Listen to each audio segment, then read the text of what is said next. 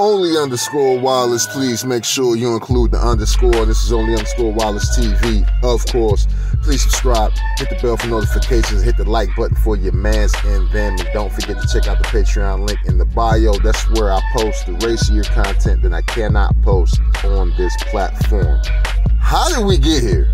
Like, I really gotta ask, how in the fuck did we get here? Listen, whenever you see a nigga posting evidence that he didn't get his ass whooped, in all likelihood, he was only a hair on his chinny chin chin away from getting his ass whooped. He narrowly escaped getting his ass whooped.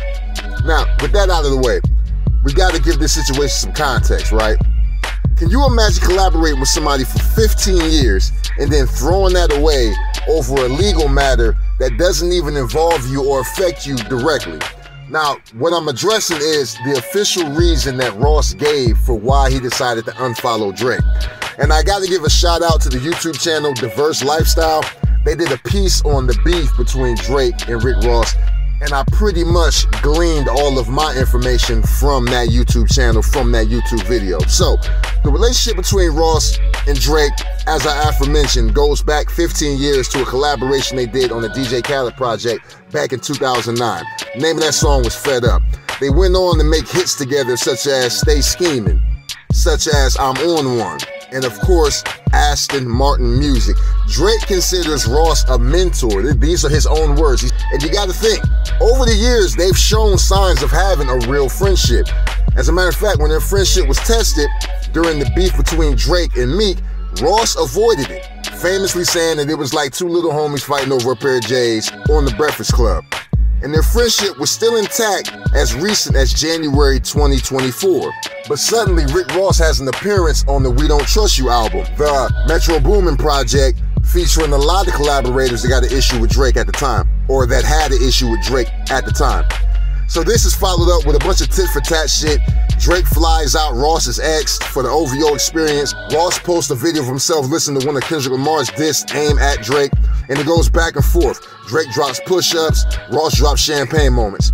BBL Drizzy becomes a hashtag, the rest is history.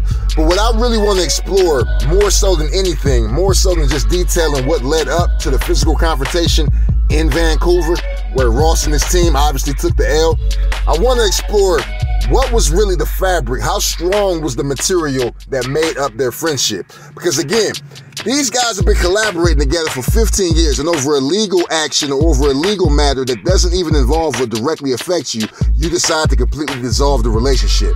It makes me think that the relationship really wasn't that strong to begin with. Maybe this was just a working relationship, the type of relationship that was never really tested. It's like it's like smoker relationships, smoker friends. Some of your friends are only your friends because you smoke weed, my nigga. Once you decide to put the smoke down, you're not gonna see those friends at all or as often as you used to see them. Or kind of like having a fucking pizza party at work with your coworkers. You're eating with your coworkers, but these motherfuckers really your friends? And that's kind of a metaphor for the relationship between Drake and Rick Ross, in my opinion. They ate together, but were they ever really friends? I gotta question that because there's a couple of theories, and they were presented in the same piece that I watched that was produced by Diverse Lifestyle. One of those theories is just accepting the fact that Ross had an issue with a cease and desist that was ordered by Drake. Now, Diverse Lifestyle highlighted the fact that this track was allegedly produced by Metro Boomin. And we know that Metro Boomin, the guy who is responsible for pushing the BBL Drizzy narrative, even more so than Rick Ross, him and Drake don't have a relationship. They're actually beefing. So if he produced a track and Drake gave vocals to that track, it would make sense. At least I can understand somewhat why he wouldn't want that to be released. But French Montana has never gone on record and said he had any issues with the cease and desist. He never said anything about the cease and desist. And he never said he had any issues with Drake, period. Apparently, they're supposed to be collaborating on a documentary and releasing music later on this year. But then there's something else to consider. Drake and Rick Ross dropped the collaboration project and they did a press run. And they did a couple of pieces. And in one of those pieces that they released to promote the project, they said that they were gonna get a feature from Drake on that collaboration project. And that album came and went, and there was no Drake feature. So could these things could these things amount to enough of a reason for Rick Ross to decide, hey, I don't want to fuck with Drake anymore? But it's one thing to say I don't want to fuck with you and distance myself, but to publicly show that you're aligning yourself with the ops, that's taking it to a different extreme. So it makes me really question what type of friendship did they really have because these seem like minor things.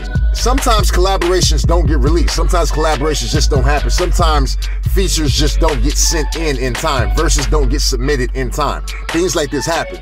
But you would think that on the strength of that 15 year relationship, that friendship, that would be enough for them to be able to let go of something small as a couple of collaboration projects not being released. But I don't know.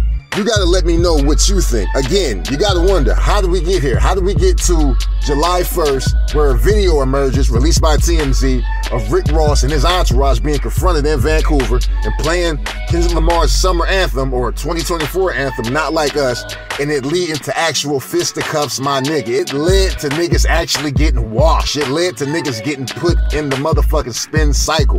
It's a bad look. Again, anytime a grown ass man, especially an entertainer on the level of a Rick Ross, having to prove that you didn't get your ass whooped when the whole world saw you get your ass whooped, apparently some shit went wrong. So, y'all let me know what y'all think in the comment section. Do you think that the cease and desist, do you think that Drake's failure to appear on the Meek Mill and Rick Ross collaboration project, do you think that those were really the reasons?